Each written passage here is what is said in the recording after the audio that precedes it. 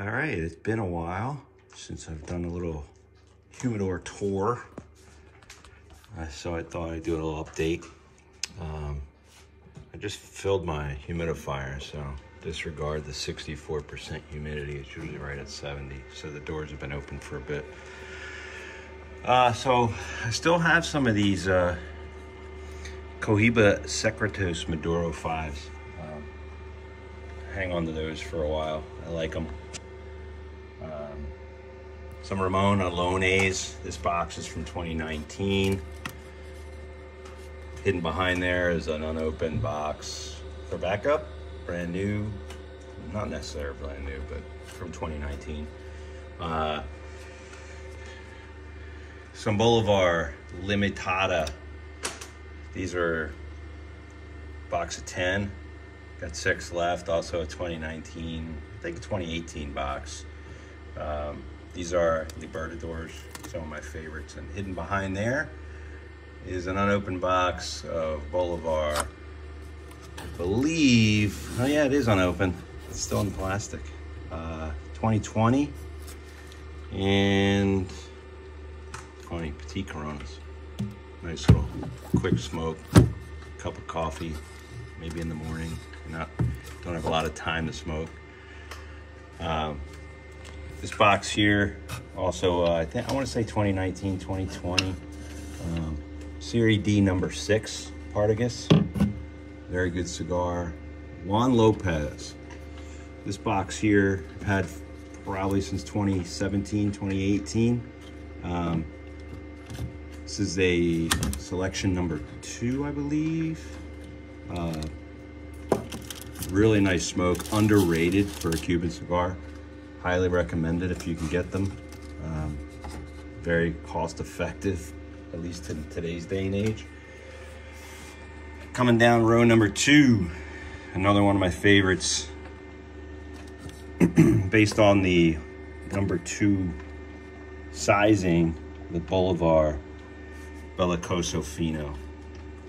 There's uh, a little more than a half a box left, so you can see, quite a few under there. Um, hidden behind there is an all-time favorite, Smoking Kills. Watch out for that. This box is open but not touched of the famous Royal Coronas. I love these. All-time favorites right there, Bolivars. So sometimes you can't display them all. Uh, another highly underrated product, uh, the Vegas Robaina, comes from the same fields that your Cohibas come from. Um, Hirochi Robaina is the grandson of the creator of, or the, the original grower of the Cohiba tobacco. And the Vegas Robaina come from that same farm. So if you can find them, I know Hirochi has his own, I believe, Dominican brand of Robaina, but get the get the Cubans if you can. Uh, Partagas Maduro number one, still about a little more than half a uh, box left. Um, also a 2020 product. I was lucky to get these when I could. They're phenomenal. The, the Maduro Partagas are very limited, so if you can find them, get them. Hidden back here, untouched, unopened box of the Partagas Maduro number two. Uh, I think I got these in 2020, and I haven't touched them, so they're still sitting there, unsmoked, unopened. Uh, coming over to the H. Upmann line. This box is the Connoisseur A's. It's a decent, a little bit bigger, more likely a Toro size, definitely a little bit bigger than your traditional Robusto. Um, half a box of those. If I go to the back of that, I still have a couple of the Trinidad, also Cubans. Um, this is the Vigias. So I only have a couple of those left. Little pigtailed mini Robustos. If you can get them anymore, it's kind of hard to find the Trinidad's, but supposedly rumored to be the blend and brand that was made specifically for Fidel back in the day, but I don't know if that's true or not. Uh, Olmec, these are new. These just came out. Um, Nick Melillo uh, is creator of Foundation Cigars, and he just put out these Olmecs that are just phenomenal. As you can see, that's Maduro. Um, I have a second box of those unopened, uh, but I just picked those up about a week ago, and I really love them. Shelf number three, P Series number two from Partagas, same size, the number two size, famous with the Montecristo. This has got a box and a half of those left, or half a box, a little more than half a box. Um, this box is a friend of mine. this is the ever so famous Fuente Perfection number two. Got this box at the last outing uh, Fuente did before the pandemic um, 2019 at Holt's. Uh, I believe this box was this Opus X Perfection number two box at the time was about 600 bucks. I haven't smoked a single one of them. I think that box right now would go for about 1500 bucks if you can get them. Uh, the infamous Montecristo number two. I have half a box of those left. I love them. They're nice, they're mild, they're, uh, like I said, they're famous. Everybody loves Amani number two. Um, got some Hoyo de Monterreys, some more of these. There's just a couple left, but this is the Serie La Hoyo. I love them. Medium, medium body, not too strong, but I'm more of a strong cigar fan, so they're not my favorite, but I like them. I have the uh, another highly underrated product. St. Luis Rey. If you can find St. Luis Rey Cuban cigars, snatch them up. Very underrated, very good smokes. Uh, everybody says, I gotta have a Cohiba, I gotta have this, I gotta have Montecristo, have a Partagas.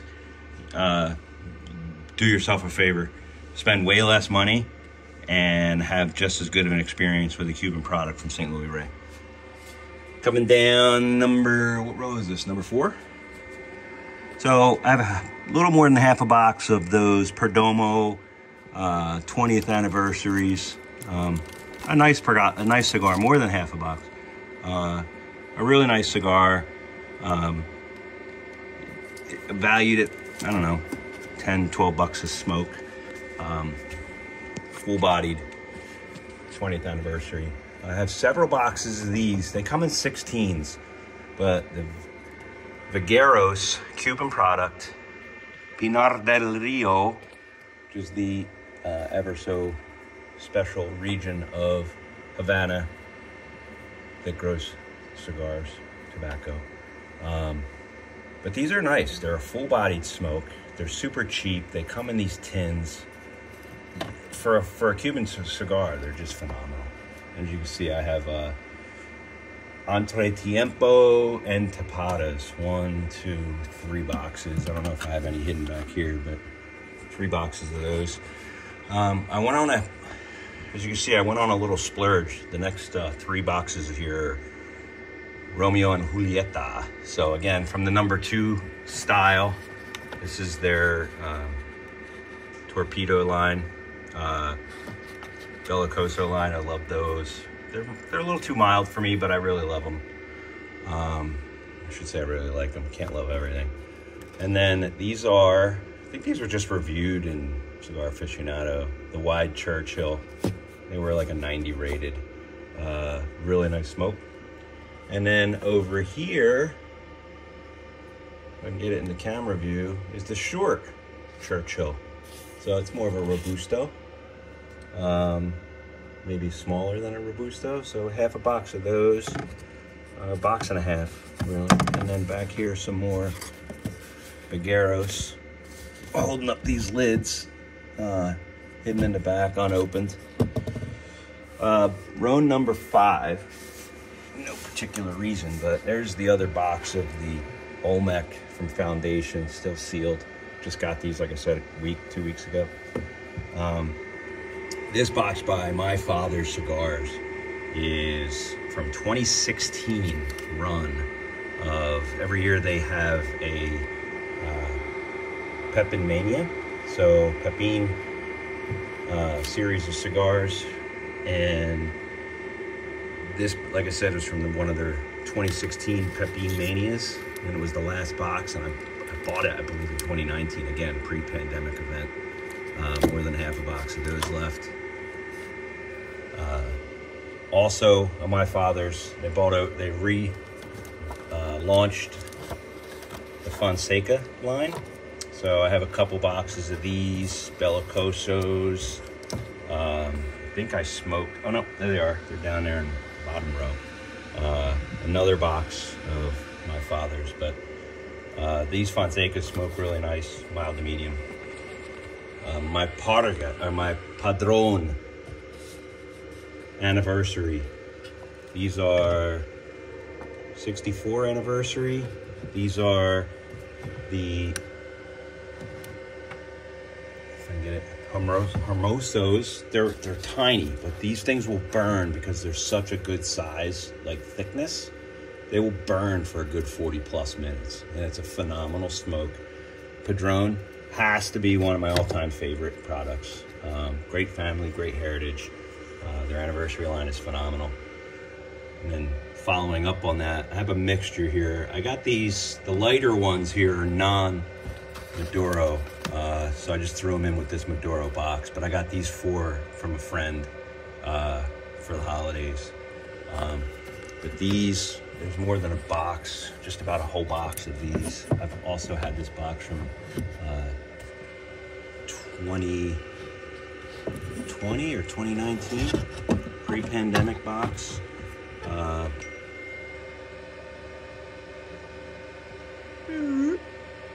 exclusivos. Again, Padron and Fuente, my two favorite products on the planet. Um, not gonna lie, they'll blow away any any Cuban made. Uh, down here in the bottom row is the Toro of the My Father La Opulencia. Um, really, really awesome cigar. I only have a handful of those left. Uh, smoke a lot of those, as you can see. And then I have my box of singles down here, my tray of singles. Uh, you can see they're just about anything you can think of. I have a Colima down there. Uh, mix and match if I buy singles. Things I don't smoke all the time, but I just feel like burning one. Um, Tatuaje, phenomenal. This is a uh, Conuno, Cojuno, Conyo 2002 uh, series. These are the rare, rare pinks from uh, Fuente. Just got those, I think, during the holidays. Um, and again, just a, a, good mixture. as a Partagas in there. Uh, so if I get singles, I'll just throw them in there. If there's a box running low, I'll dump them into that bottom tray.